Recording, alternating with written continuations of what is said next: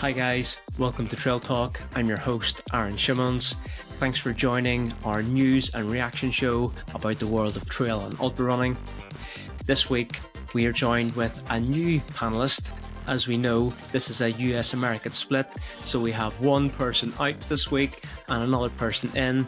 This week, we're joined by Krissi Polentz, joining us from Tahoe in California. We also have Matt Seidel, the newly signed Norda athlete, joining us for an interview to break down his epic full send run at the Black Canyon 100k last week. Matt is an exciting talent coming out of the US collegiate system. He jumped into the world of trail and ultra running a couple of years ago and has already racked up wins at the Lake Sonoma 50, Quicksilver 100k, and he ran a blistering 541 for fourth place at JFK 50.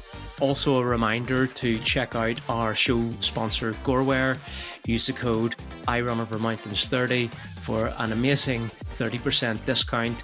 That is global discount code. It's not UK, it's not Europe, it's America, it's Europe, it's wherever. Go to gorewear.com and use the code tag us on Instagram. Let us know what you got. We'd love to see some of the gear. I'm really enjoying it. It's super stuff. We also have a discount code in the description below for Torq Nutrition, a British brand that makes, I think, the best gels in the business. Absolutely amazing stuff. So go and click on that link below. Get yourself a 10% discount. My favorite is the apple crumble and the cherry bakewell. You can also catch the show on Spotify if you don't already know. Just search Trail Talk, it'll come up, you'll find it. But you know what? We love having you here on YouTube, so stick with us here. Anyway, let's go and check in with our panel and talk all about Black Canyon 100k. All right, guys, uh, back for another show. This time we're going to talk all about Black Canyon 100K.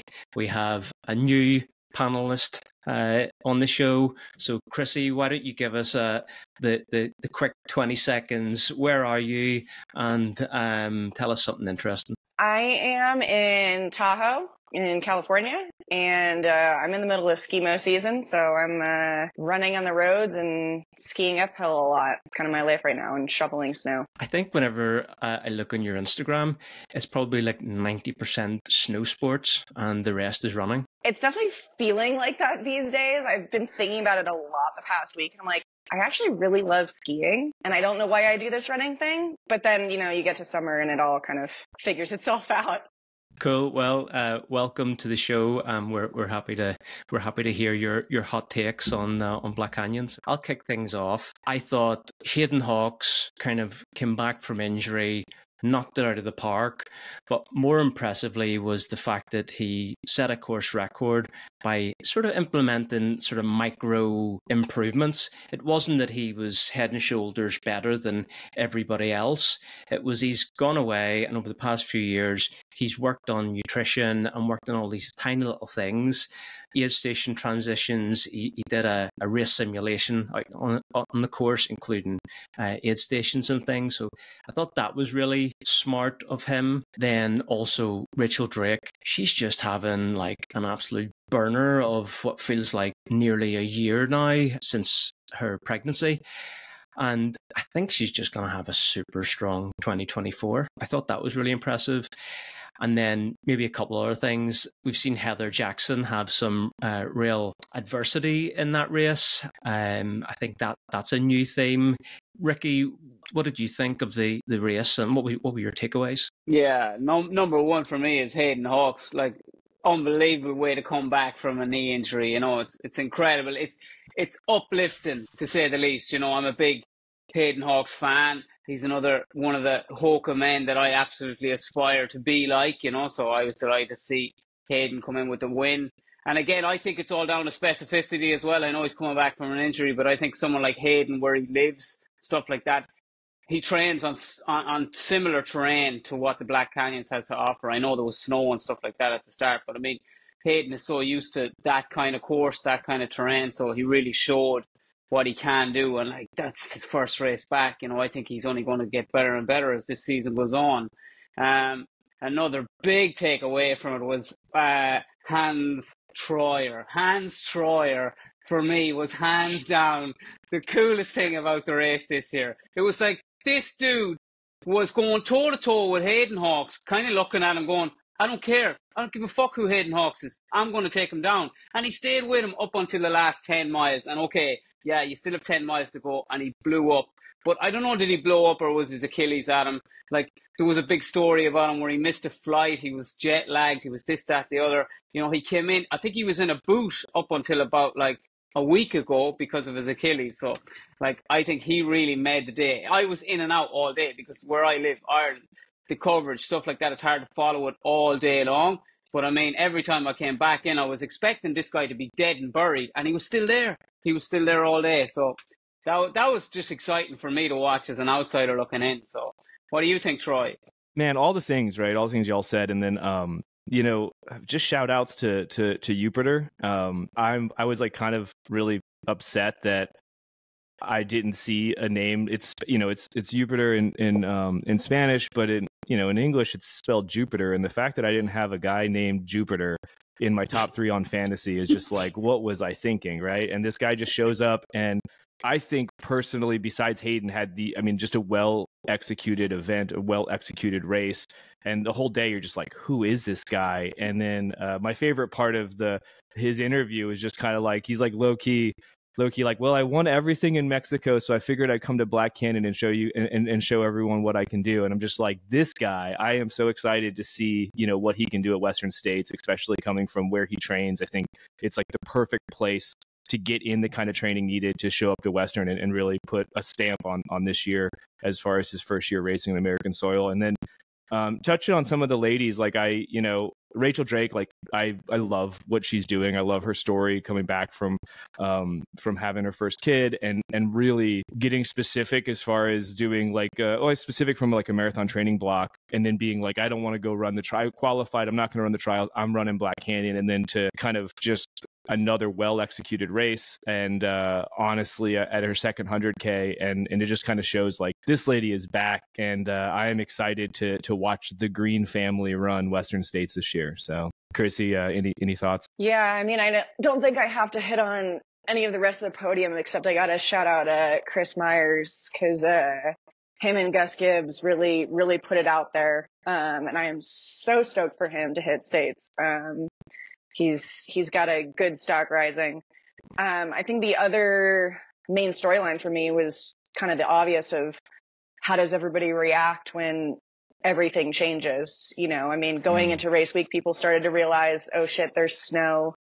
Um, people got there and were like, all right, you know, throw the heat training out. We're going to just focus on everything else that we've worked on. You know, you saw a lot of ankles go down, especially in the women's field, and it was kind of devastating. But like that's, you know, you've got to prepare for everything you can possibly prepare for. And it's it's cool to see the race in a cool year and to see that the, you know, men's record only dropped by that much just shows how stout it is. And I'd, you know, I'd love to see the the women's keep pushing that direction too, of just getting really, really close. Yeah, it was it was a very different feel to a race uh, this year, and I was surprised the course record went down because you know Tom and Anthony were pushing each other last year. So that was the year to set set a course course record. So yeah, that that was interesting. I don't think anybody saw that. Go back two, three, four weeks.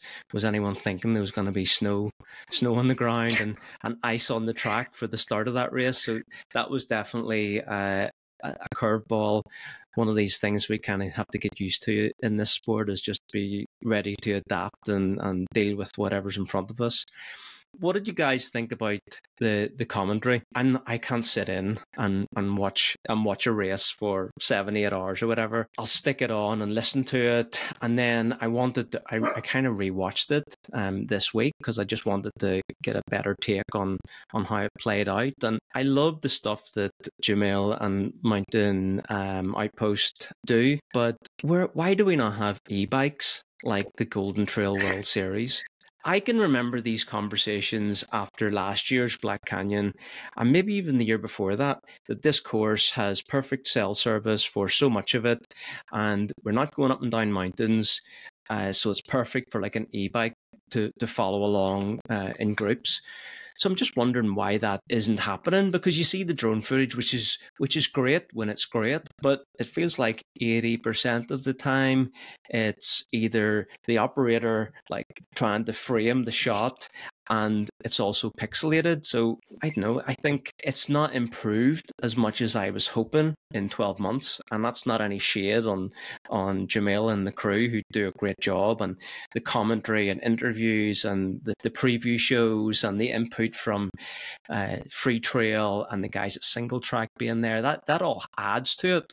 But what has the actual race coverage improved on? Krissi, do you want to take this one? What what what do you think? Yeah, I mean, I think that we have different access issues for e-bikes in the states and so every trail system and park system has different rules so i don't know if they're like having that issue or not. You know i know here we often have like a pilot program and then it's kind of like hit or miss on whether they actually like having e-bikes on the trails sharing access. So from that standpoint, it would be awesome to have and it's definitely improving with the drone coverage. Um, I think from a US standpoint as well, you know, I think I'm just used to seeing fuzzy video in US races. And so when I was able to tune in, um, I was actually kind of surprised that it was better than last year and the year before. I think for me it was a step up, but then yeah, you compare to European races in Asia and we're just not coming close still. I think the, the main thing that I would like to see coming up this year is the sort of post race recaps that we see from the Golden Trail World Series. Can you imagine the hype that would create if that was uh, if we had something like that from Black Canyon or, or, or last year's race or, or, anything? That would be so cool. Just like five, six, seven minutes or whatever, bundle some of the the high quality footage together. I was having to scroll through nine hours of a, a YouTube live feed to try and find the good bits, and whenever you're scrubbing over nine hours, it's really easy to miss those key moments. So yeah, it left me wanting more. Ricky, what did you think of that? It reminds me of my van, of my van in the west of Ireland. In the west of Ireland, you cannot pick up the radio the same way you can in the rest of the country. And when I drive around the west in my van, it's like this. And it is head wrecking. And I know it's hard. I know it's very hard to get good footage out in these things, and you're expecting people to follow something for like a hundred kilometers. You know, that's taken like eight, nine, ten hours. But it needs to be better for the sport to grow and for people to want to watch it for seven or eight hours. It's got to be good. Like it's got to be like marathon coverage where you can just sit there, watch it, and and not be going, Jesus Christ, trying to get cell service or trying to get coverage or trying to get something. You know, so definitely, definitely needs to be worked on on that. And like you said, would say the YouTube content. What I went through today was I went. Uh, Hans Troyer had a, a YouTube video up himself. It was his. I think it was his mom and his girlfriend, or maybe his mom and his sister. I'm not sure. And they were showing. Uh, so I was getting footage of the race from from two random people, rather than like Black Canyons itself or something like that. So yeah, definitely, definitely could be better. You know, room for improvement. But still, still a super exciting race, and it's it's a race that I like want to race. So like it it it hasn't put me off, you know. Super excited. And and let's just uh, point out that Ricky's talking about analog radio. Never mind. We're not talking about 4G. We're not talking about 5G. We're not even talking about digital radio. We're talking about proper hillbilly analog radio, FM radio, right? Correct. in the sticks, Ricky. That's that's that's where you are.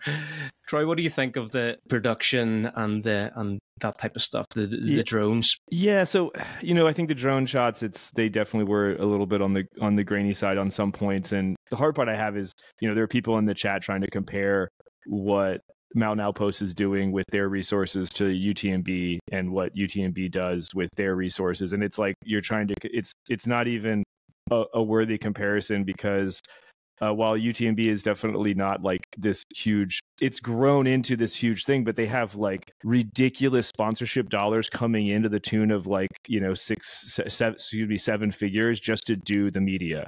So like when you have those kind of resources, you can put on a production that is, it's markedly better. And when you look at like what Jamil has done, um, eh, from the Mountain Outpost standpoint, like they're just similar to what UTMB did back in the in the early aughts and, and the early teens is like they're just putting the resources back into it and slowly growing it and slowly scaling it. And the technology to do this isn't it's not cheap by any means to just kind of throw down um, a bunch of Starlinks, have the right cameras, have all the right drones show up. Most of it is like volunteers coming in to, to help and support. And so I think, you know, what you see with Black Canyon is like a patchwork of technology that they're assembling together to create something um, that's really special. And I do agree, like it, it, needs to get better, and, and I know that's you know it's it's something that I, I know that they're definitely focused on. I, I did like seeing the hire of of Zach Marion to come on and kind of direct some of these live streams, so you can see that like uh, Matt and Jamil are pulling some of the weight off of their shoulders, putting it on other people's shoulders, and allowing uh, the ability for their for their team and their organization to to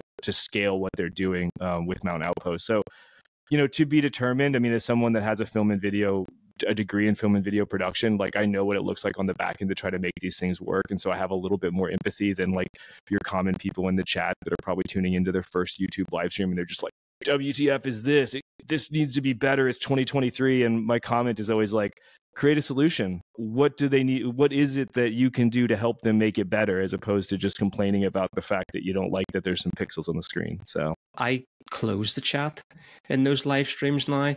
It used to be a year or two ago that it was just like the people in the ultra running community that you knew from Instagram or whatever. There was in the chat, yo, what's up?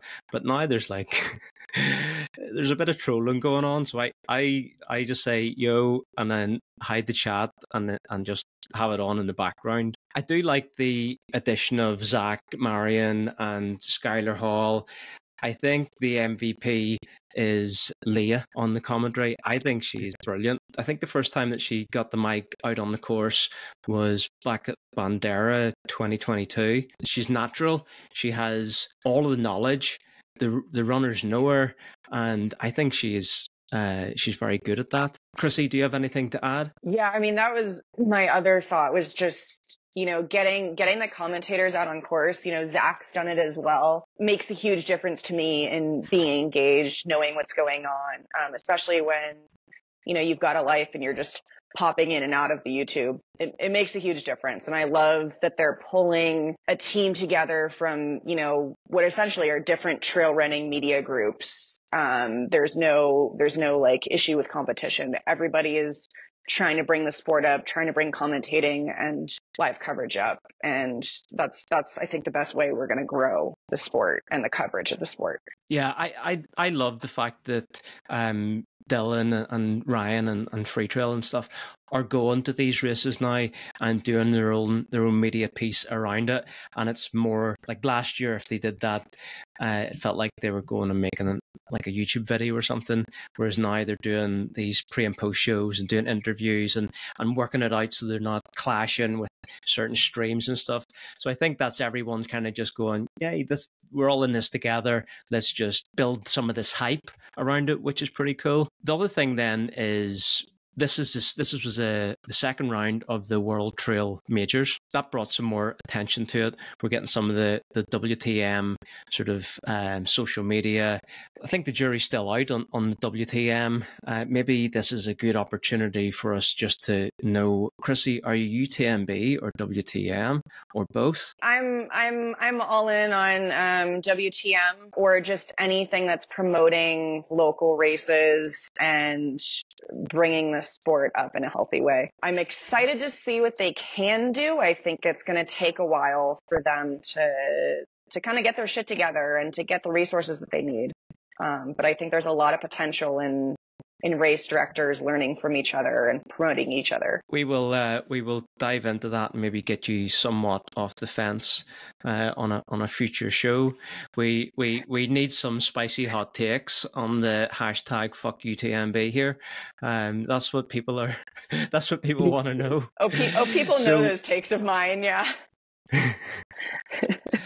in terms of uh, prize money at Black Canyon, there's no prize money there, and it's something that kind of doesn't sit right. One of the arguments for prize money in this or no prize money in the sport is, you know, that it'll ruin it and all this type of stuff. But then we also have the other commentary lines around, well, people are trying to make a living off of this, trying to professionalize the sport. That's what the, every all of these issues that we're kind of dealing with in the past few years are growing pains, and the sooner we jump to uh, athletes earning a livable wage in line with other sports and able to earn prize money at prestigious events, which you would say Black Canyon is the you know uh, top level event um, globally uh, for that distance.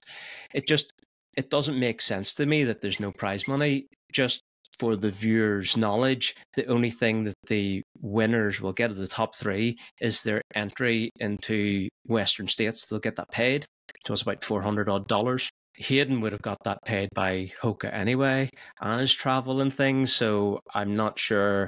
Uh, did they just give him 500 quid then? Uh, cash or is it not transferable? We stuck a poll up on the Instagram broadcast channel.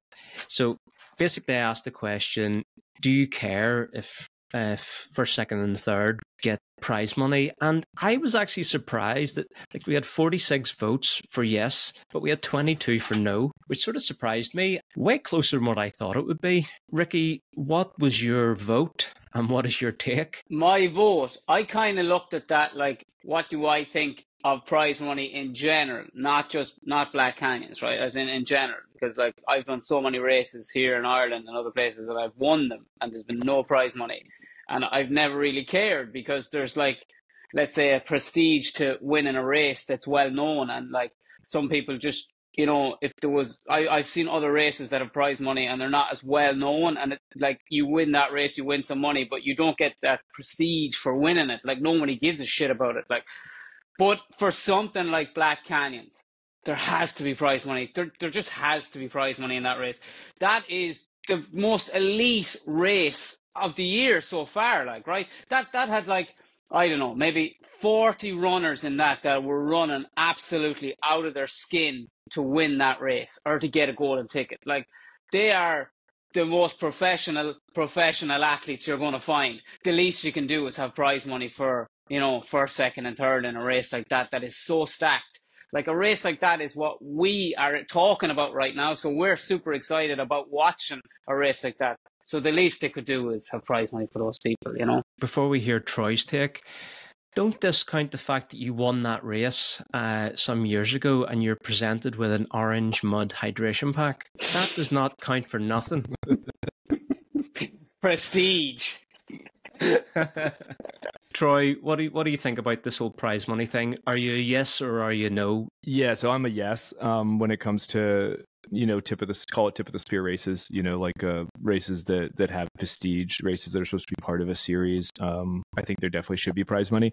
It's it's kind of tough. This goes back to the lack of endemic sponsorship, uh, and I think that's where like World Trade Trail Majors really needs one because you need someone that can help these race directors and these organizations like pony up the prize money um, because it goes back to like what I mentioned in, in the in the previous section session about you know how do you scale a live stream with a grassroots organization? It's like they're they're investing all the money back into it. So at the end of the day, it's like, well, what do you want? Do we want does, does the audience itself want a better live stream or do we want prize money? Because it's going to be in this situation, at least with Aravaipa, I know it's a it's either or. It's not either or. It's a this or that situation. And so, how do you create these prize purses? What is um, World Trade Made World Trail Majors going to do in order to ensure that there is like an adequate prize purse uh, at all of the events that are like encompassed within it. And and you know, for me, it just comes back to like who is the title sponsor for the entire event, and what are they doing to add value to the series that's being created. For me, it's like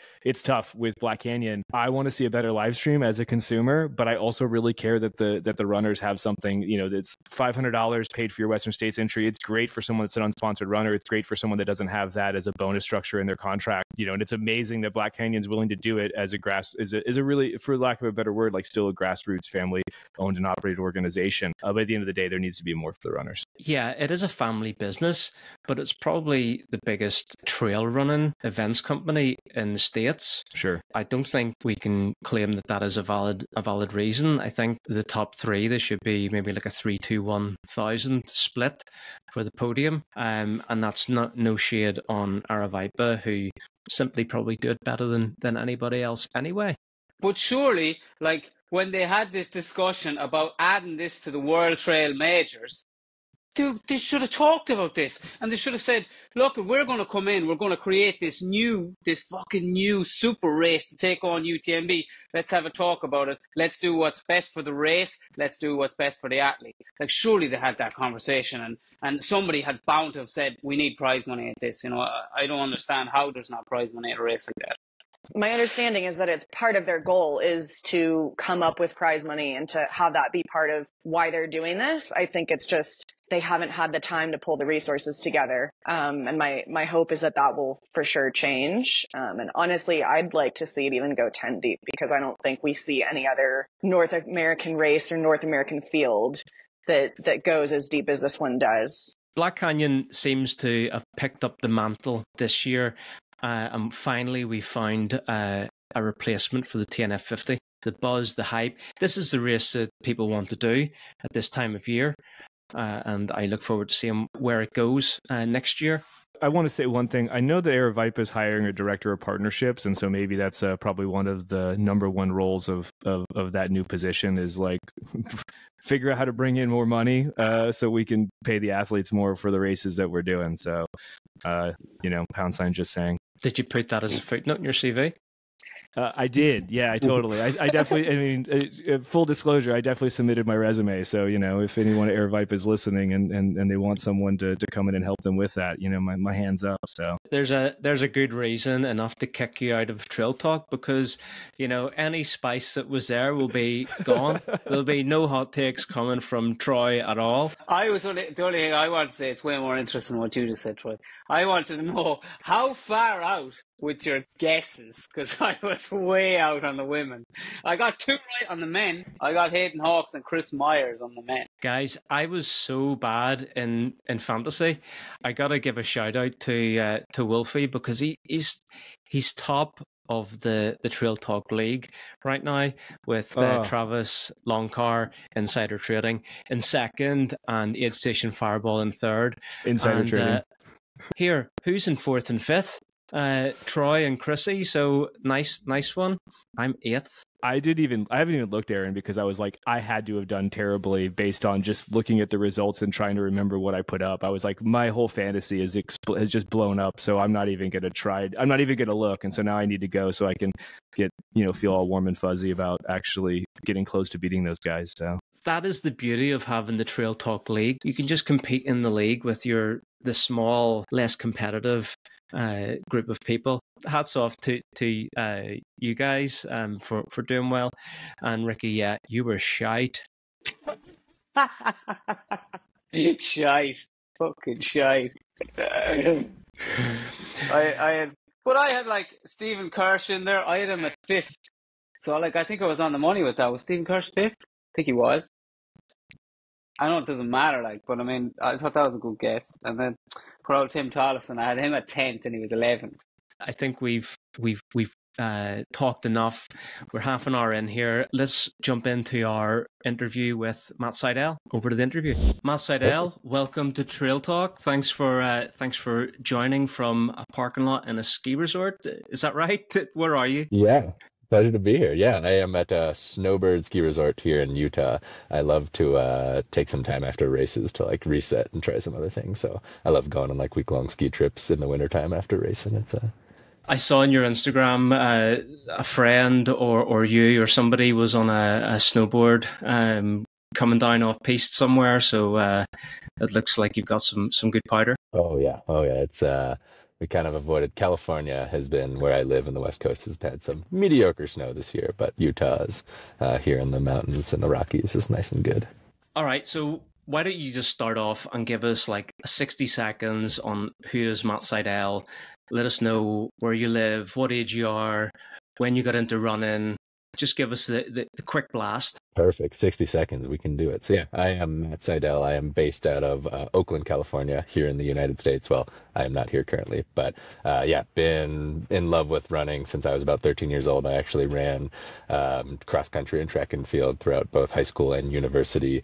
Um, went up, was up in Seattle here in the U.S. Uh, for college, and you know, ran all the short distances from like a mile to 10k. And then the second I finished uh, university was kind of uh, wanted to reset, but still had this deep love of running, and took a couple of years in the pandemic to really get me into trail ultra running and just this deep love of being immersed in the mountains. So I've been running uh, ultra marathons really longest distance I've done so far is 100 kilometers uh, for about two, two and a half years, and really just discovering more and more each time and falling deeper, deeper in love with it.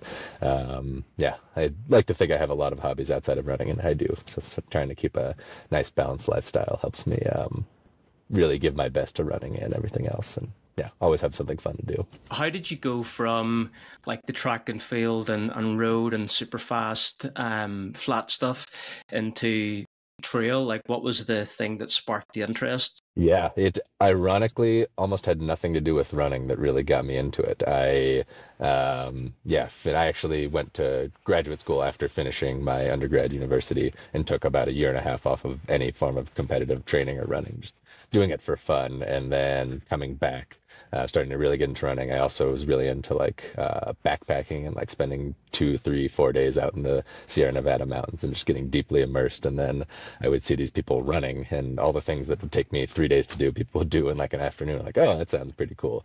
Um, and so I think a combination of uh, combining different hobbies with just kind of finding the right people around you. I think I just had a few friends in the Bay. I mean, the Bay Area here in California is just a vibrant, rich culture with so many people who love all things trail and ultra running. So you, you meet a couple people, they convince you to do some stupid things, and next thing you know, you're signing up for uh, what eight ultra marathons in a single year. So it's a it's a slippery slope, but yeah, I think that just constant immersion in nature and being out on dirt is just something that is unparalleled to me. Yeah, that's that's interesting. And how many years ago was that that you were into like the the backpacking type stuff?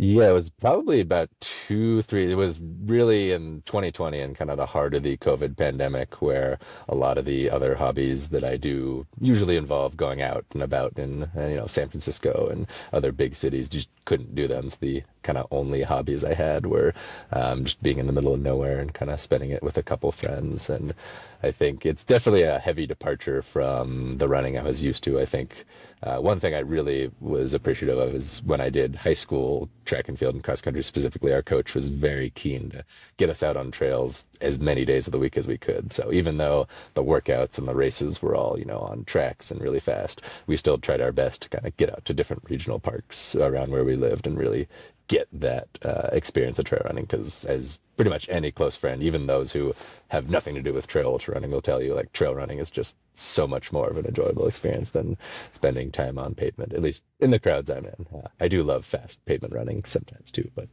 um, yeah, and are you still addicted to the miles, or have you transitioned to training by time?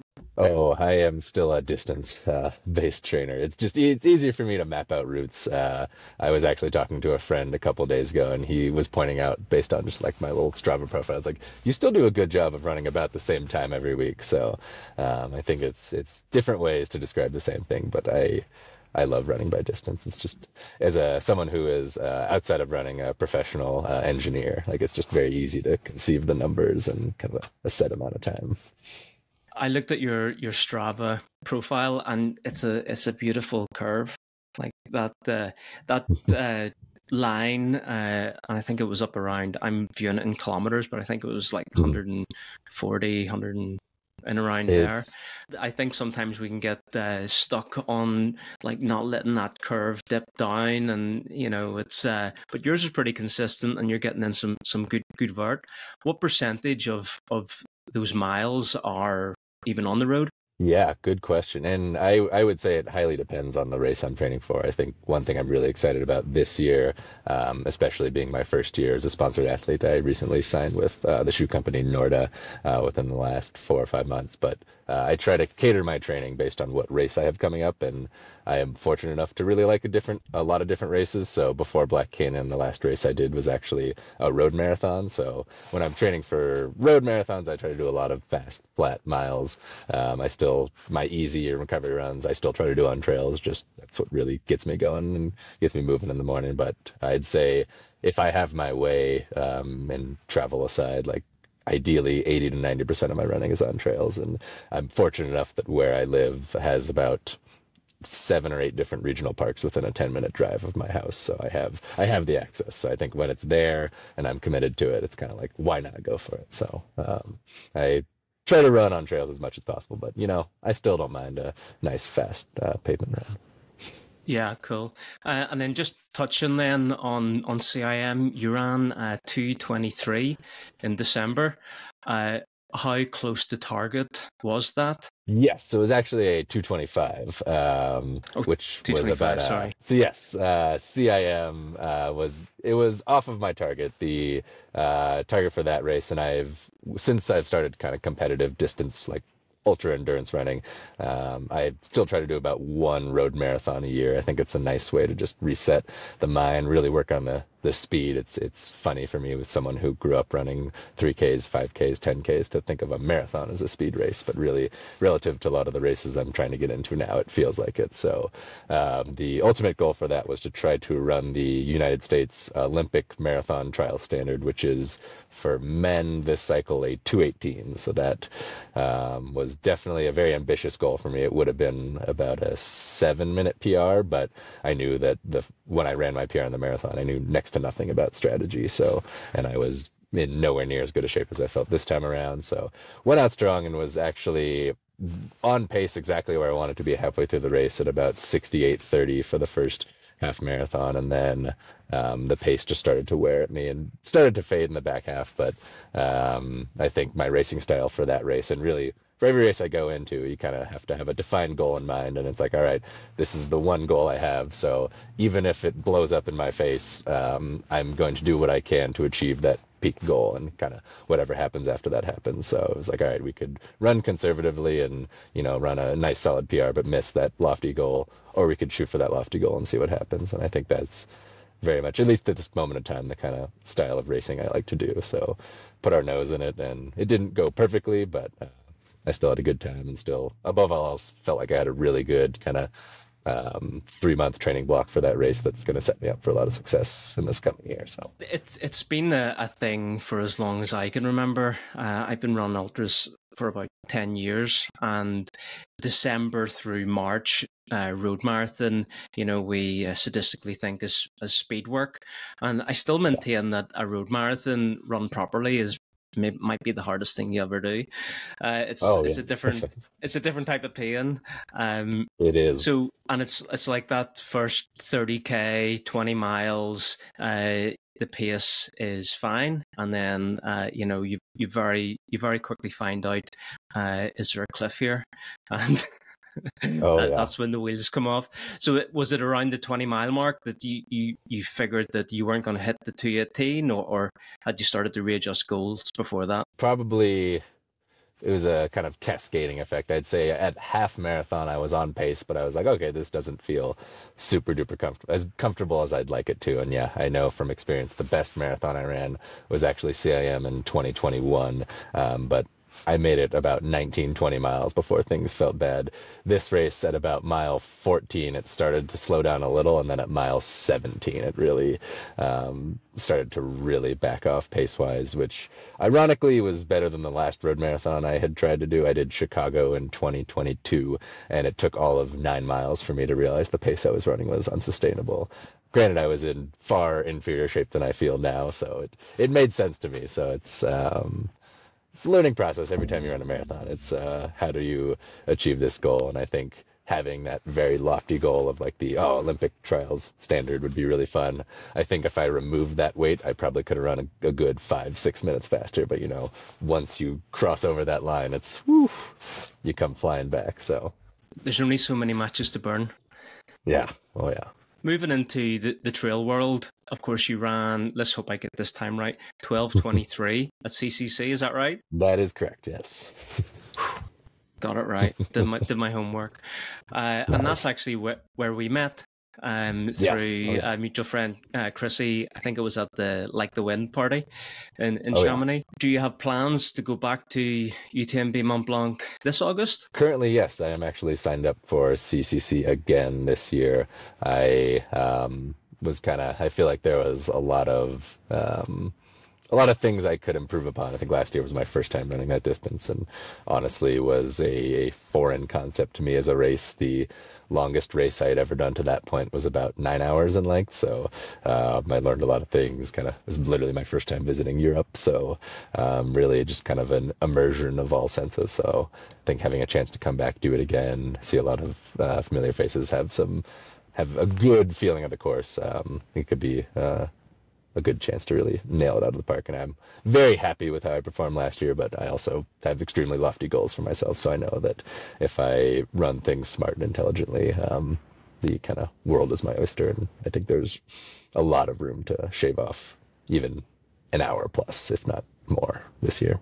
It was a good debut at at the CCC, but I think you're right. There's so much to be gained just from having experience there. And the fact that it was your first time racing in Europe, everyone arrives in Chamonix and in the Alps, and, you know, they're like, oh shit, this is steeper than what I was expecting. And, you know, oh. just it's people say, oh, the, the Tour de Mont Blanc isn't technical.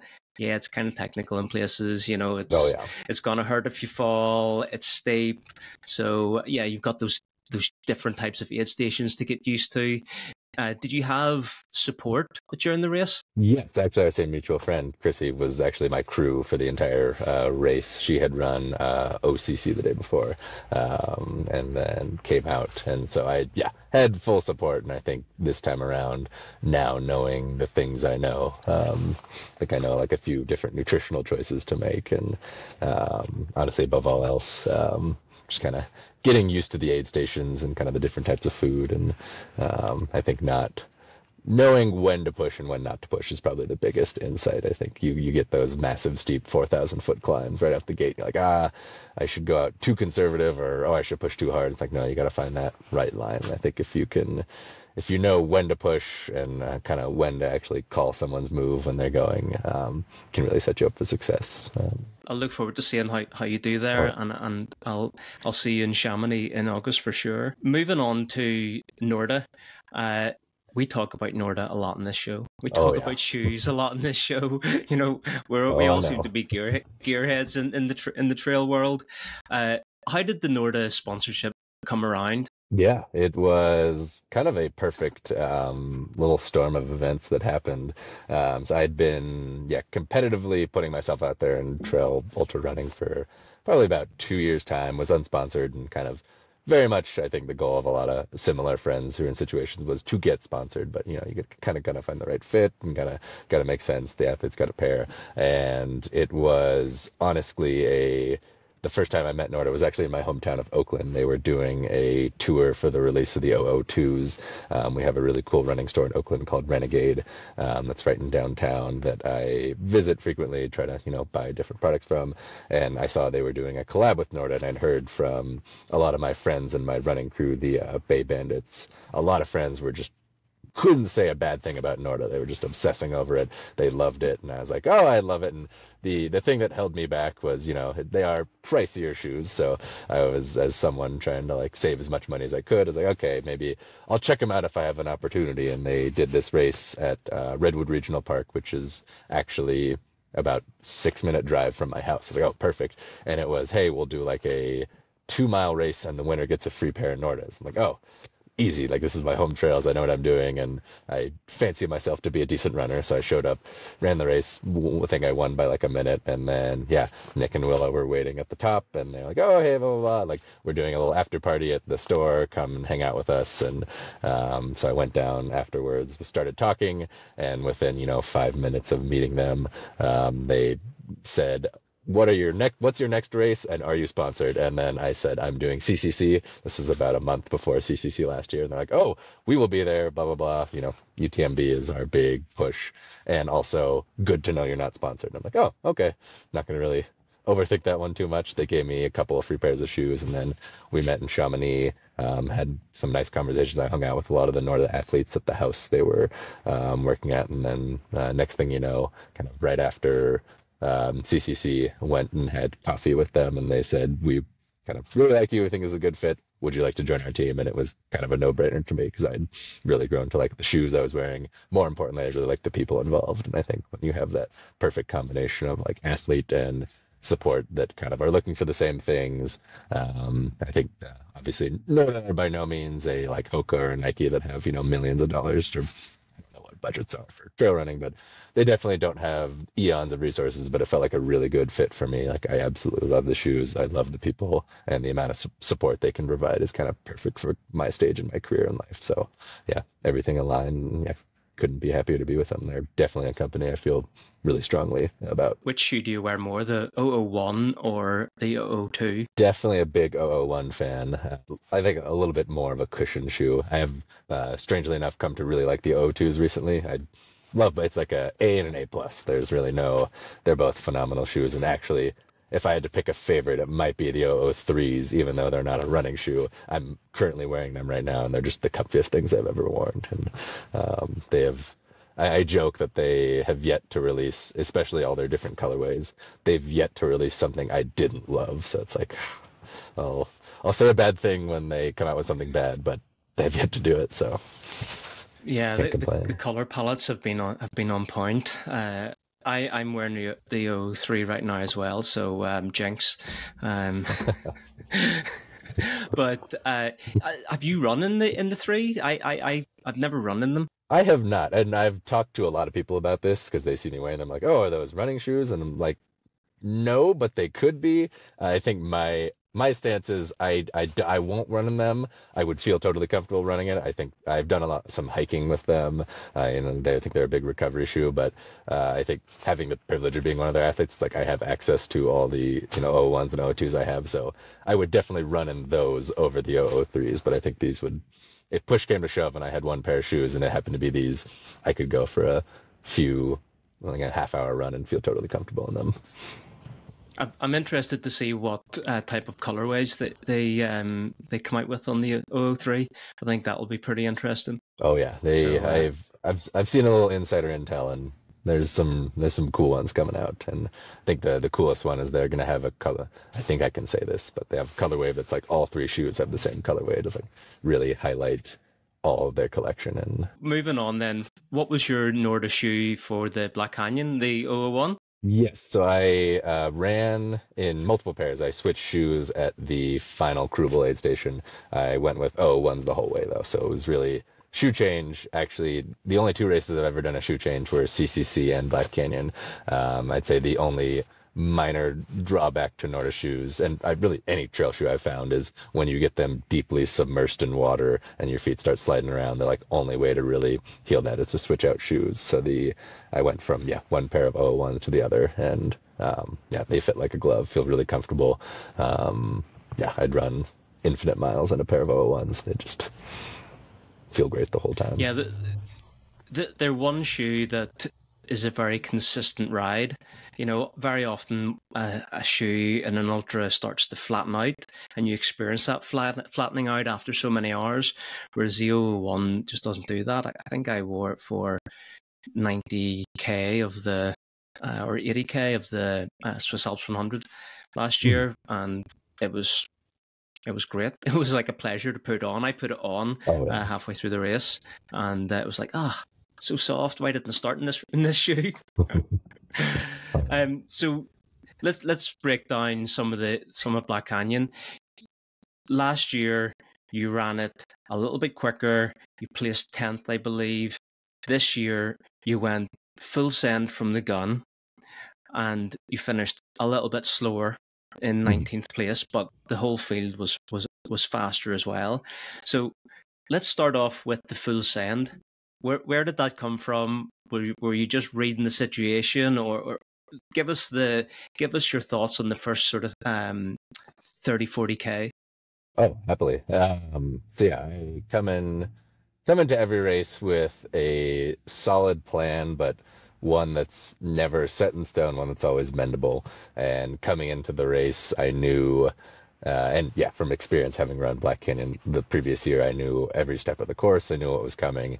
And for me, the a the explicit goal coming in was well, I really want a gold ticket. Like I'm going to do whatever makes the most sense to try to get into that position. And the kind of mantras or kind of strategies I had thought through um, was really trying to be the one really overlying theme was like be specific, like know the parts of the course where you are suited to run, and run those intelligently to the best of your ability. Um, and for me, I knew that uh, the first 20 miles of the race, really, until that first major crewable aid station is gradual downhill, the nicest trails you experience. And so I knew that it's kind of ride that knife's edge delicately, like don't burn yourself too hard. Um, but the the first third of the course really suits me. So it's like I'm going to run the strongest part of the course to the best of my abilities, and then kind of reassess where we're at. Um, so I didn't going out in the lead wasn't necessarily the plan. It wasn't not the plan either. I think the goal was to just run it intelligently, smartly, um, and with the pack. And then I'd say at about mile seven, coming up to the first aid station we hit, um, the entire pack just kind of felt like it started to ease up and we were still in a pack of about 20 people and i knew that the it was after that was going to be a long gradual downhill to the next station and it's a very runnable trail. It's a little technical if you're in a pack so I, I really didn't want to be bunched up with a bunch of people and no one else really seemed like they wanted to make a move so i just kind of didn't even feel like I pushed too hard, but just made the move, went to the front, and then we just hit a long downhill. And I said, "Well, I've trained on downhills a lot. I know what this effort should feel like, so I'm going to run an effort I feel comfortable running." Um, and that's really led to the next 10 miles of being out in front and stringing out the pack. Um, I never doubted being there. It never uh, was kind of something I felt wary about, and um, yeah, so I just kind of running with confidence, running with strength, knowing what parts of the course suited me well, just kind of got in the moment. I don't think the moment was too big, but it just kind of felt right to take the lead and kind of not let the pace sit back and relax for too long. And I knew that uh, by no means was the goal to drop the field. That was not the goal. It was to kind of keep it an honest effort the whole way. And, uh, I still feel confident in making that decision now. And do you run uh, or race or train by RPE or heart rate, or what's your sort of barometer for intensity? Yes, I check heart rate data after every run, but it's not something I um, run by in the moment. Uh, honest, for lack of a better scientific term, I try to do a lot of running by feel. I just having run for ten, gosh, what now? Over 13 years, I've I've learned what pace zones feel like, and kind of qualitatively how I'm assessing. So, in the it's definitely a little trickier in ultras to you feel good now but you know you have so much time to go so you can't burn too much. But it's usually by pace and how my body is feeling. And i'll also check in on my heart rate briefly but um, in the moment like in a race in a workout i try not to obsess over heart rate because i know that you know the sensors i have are imperfect. And if I know in kind of my deep soul what this effort feels like. And if it's too hard, I back off. And so actually the second I hit a mile 20, I was like, all right, now we, we're hitting a hillier, rollier section. Now we're going to consciously back off the intensity. And um, yeah, that next 10 miles actually felt really strong, even though I was kind of moving backwards in place. That was kind of still by design to like, okay, let's pull the effort back. Let's not burn ourselves too much. And then unfortunately, it just hit a big side uh, stomach stitch and the rest of the race went reeling from there. But um, I'd say through about halfway through the race, I was still in a comfortable position right where I wanted to be. Did you have a particular nutrition strategy going into the race, and did you stick to it? Uh, yes, I did have a kind of laid out plan. I like to before every race, I do kind of. I a like to study historical splits on kind of usually where the leaders of previous races or or people that through experience I know have run the race intelligently, um, try to base off of how they paced it. And then from there, I know the amount of like calories, carbs, and sodium I like to consume per hour uh, from there and kind of try to build backwards from it. So I stuck to my nutrition plan almost to a T. I inevitably, when my stomach does go haywire, which usually deep in a race, I I know that the plan I've set out will rarely um, fully work out. And I think that's one thing I'm trying to work on in races in the future is try to really hone in on a plan that my stomach will agree with the entire time. Um, but I always bring backups um, of everything I have and or different little treats that I do just to like if your stomach really doesn't feel bad, it really feels bad, I know that at least these things will work. So for me, this race, that was actually um, Dr. Pepper uh, was kind of something I switched out on. I know that um, kind of the high sodium drink mixes that I use are really great, and usually my stomach likes them, but it only likes them for about five hours, six hours, and then anything from there, it can't stomach the thought of another one. So I think having backup things in place um, I think the one the one strategy I've done with every race is have loads of salt pills lined up because that no matter what my nutrition goes to, um, I know that I'm a pretty high sodium burner. So having ample amounts of uh, salt handy have you had your sodium sweat test uh, done? Not officially. I've done some online tests, and I think I I know some people that uh, have access to sodium salt tests, and it's very much something I'm looking to do in the near future. But. I think that could be uh, could be a bit of a game changer. I used to struggle on gels after like probably seven eight hours, but it starts to turn around six seven hours. Mm-hmm. And I I did the the sweat test uh, actually during UTMB week, and mm. find that I lose some, nearly like 1400 milligrams of sodium. Oh, wow. um, so I, I'm like a moderately to, to high um, uh, loser of sodium. And once mm. I uh, upped the amount that I was taking, I was able to take gels right into the 20, 30 hours.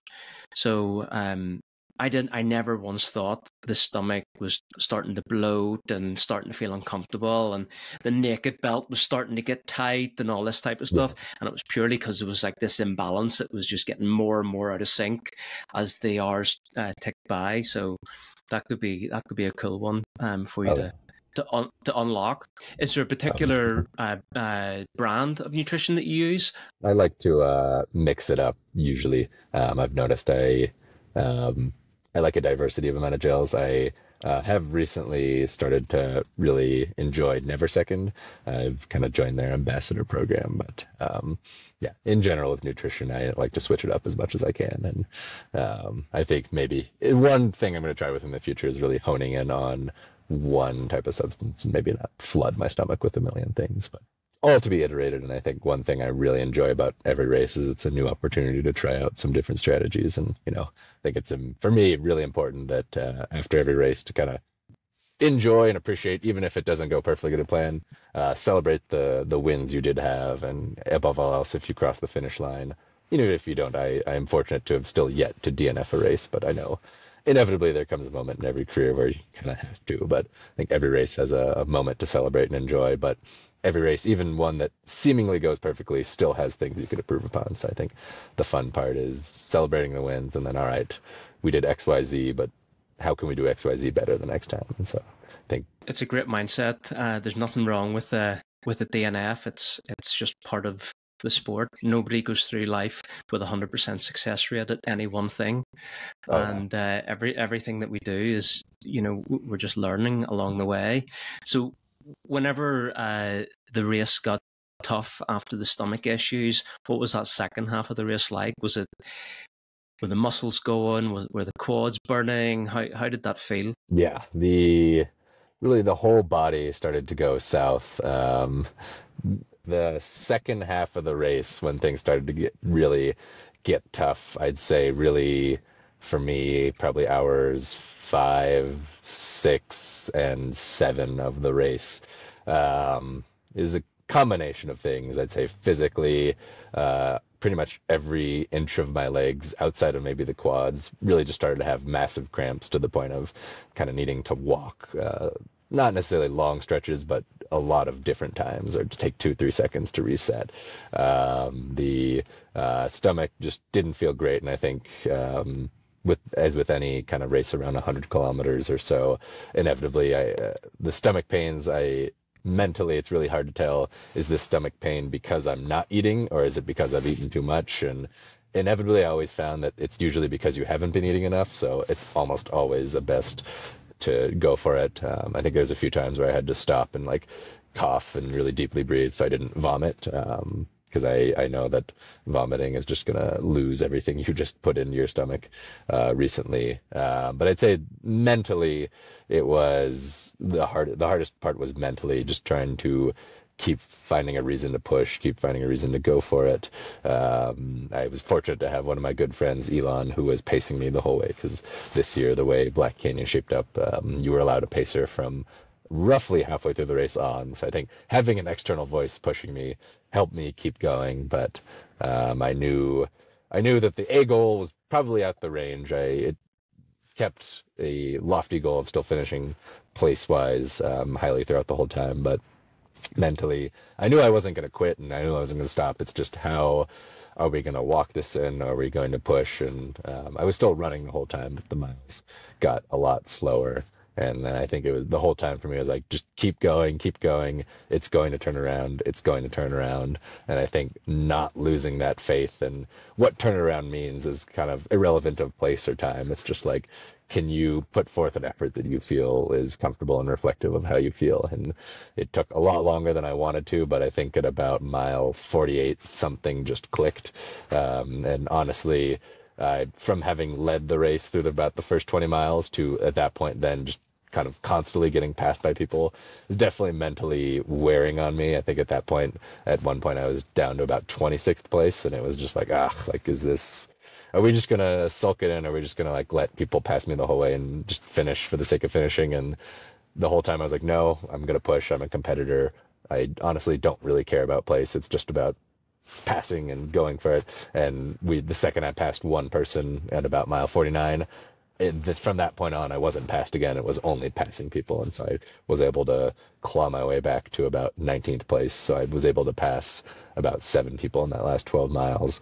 And for me, the one part I found funny was even though I was about 15 minutes slower than my time last year, from Table Mesa, which is the last large aid station, to the finish, about a 12 and a half mile stretch. I still ran about a minute faster than I did last year. So um, we had a pretty big blow up, but we were still able to close uh, even faster than I did when I ran the entire course faster. So uh, I find a lot of takeaways from that. And I know that I think for me in future races, it's really honing in on how can we avoid a big blow up in the middle because I know I feel comfortable running the beginning of the race strong. I think my one big takeaway from this race is maybe we can back off at the beginning and race from the back a little more. I, I know I have a lot of good friends who race really intelligently, and actually, one of my good friends is uh, Chris Myers, the guy who ended up getting third place and got a golden ticket to Western States, and he was he didn't pass me until about uh, mile 31 of the race. So, um, big learning. How can we really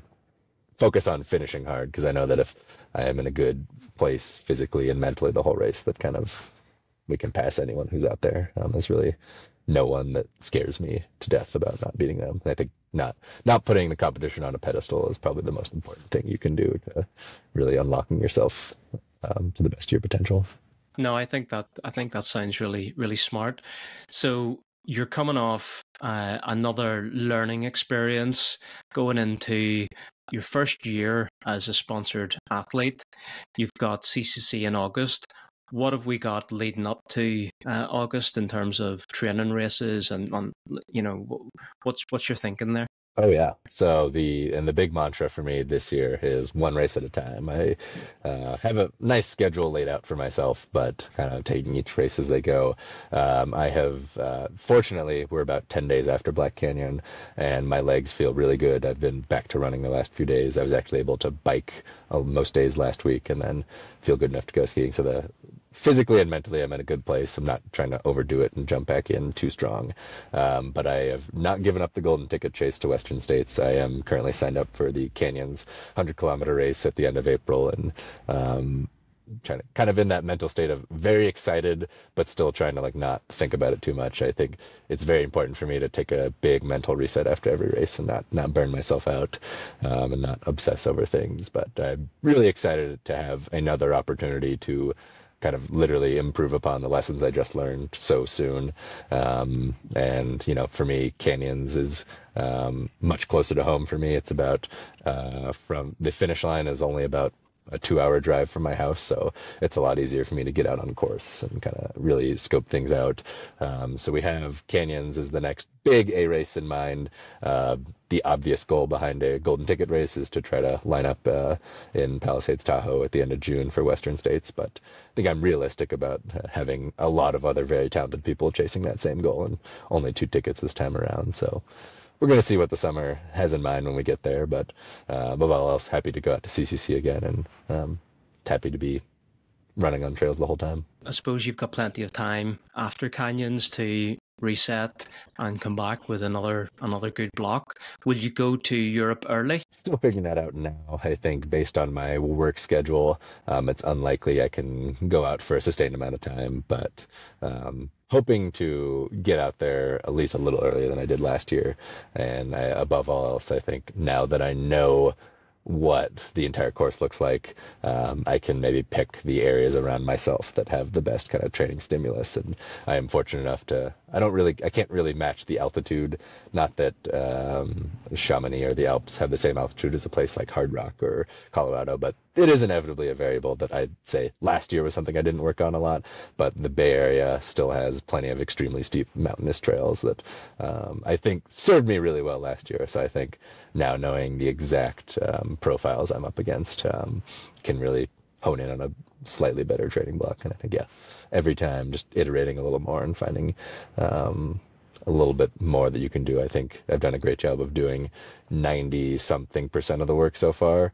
But now the fun part is iterating on that final five, six, seven, eight, ten percent and really achieving every last drop you can out of yourself. Yeah, that's going to be cool to follow. And of course, this this year you will save a bit of money going to Chamonix because no doubt you'll be in the in, in the Norda house. Yes, hopefully we have a. We've been talking about the house. I know we have a little less athletes running it this year, just due to various schedule reasons and whatnot. But um, we'll still have a good house, and yeah, anytime, anytime I can spend a week in Chamonix, um, especially with uh, people as lovely as the Norda fam, it's uh, only setting myself up for success. All right, let, us wrap things up. I just want to ask you a couple of uh, kind of shorter, quick fire questions.